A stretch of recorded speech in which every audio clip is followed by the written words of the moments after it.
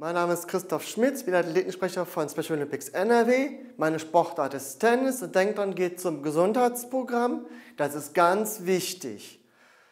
Gesunde Augen, gesunde Ohren, gesunde Füße machen uns besser. Und vielen Dank an die Helfer und an das Gesundheitsteam.